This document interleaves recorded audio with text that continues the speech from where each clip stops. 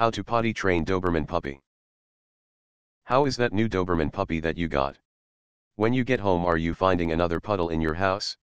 Are you tired of spending all your time taking your puppy outside or cleaning up messes in the house? By golly, you are not alone. Your Doberman puppy or adult dog can be fully potty trained and you can be free of cleaning up accidents all the time. Doberman puppies under 6 months of age are not fully developed and will have trouble being able to hold their urine and feces.